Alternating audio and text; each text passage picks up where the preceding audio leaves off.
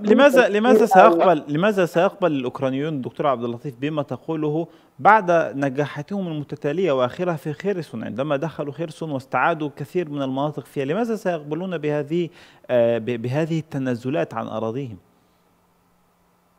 آه، سؤال مهم جدا آه، الروس لن يخسروا خيرسون كما نظن البعض إذا كان لدينا خريطة سنجد أن روسيا أعطت الجانب الشرقي فقط من خريسون ولعل في بداية البرنامج قلت لعلها تريد أن تقدم هدية أو مبدأ الأمن والطمأنينة في المجتمع الدولي أن روسيا قابلة على أو قادرة على التفاوض مرة أخرى أو ستكون هي بداية المفاوضات. لعل نجد أن آه، مناطق حيوية تمتلكها في الشرق الأوكراني. روسيا استطاعت أن تتحكم فيها مثل خريسون والكرم وميتيبول وميريبول ودوندسك ودونباس ولوفانسك مناطق مهمة جدا في الشرق الأوكراني ولعل هذه المناطق لا تستطيع أن تقوم بحرب شوارع أو مدن ضد الجانب الروسي وفقا للعالم العامل الاستغرافي المتمثل في العقيدة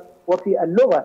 لذلك روسيا تضمن اقليم متحد مع روسيا وفقا لمبادئ الأوراسية الدورانية وهو من إحدى الاتحاد السوفيتي القديم أو المدرسة السوفيتية ولعله يكون منطقة عازلة بينها وبين طموحات آه، حلف الشمال الأطلسي. ولعل أيضا هذا الإقليم من أهم الأقاليم آه، لأوكرانيا. إقليم شرق أوكرانيا هو الإقليم المليء المليء بالثروات سواء الثروات الصناعية أو الزراعية أو المناطق الحيوية على البحر الأسود. لذلك خسرت أوكرانيا كثير جدا وهي بأنها دفعت كل شيء مقابل لا شيء.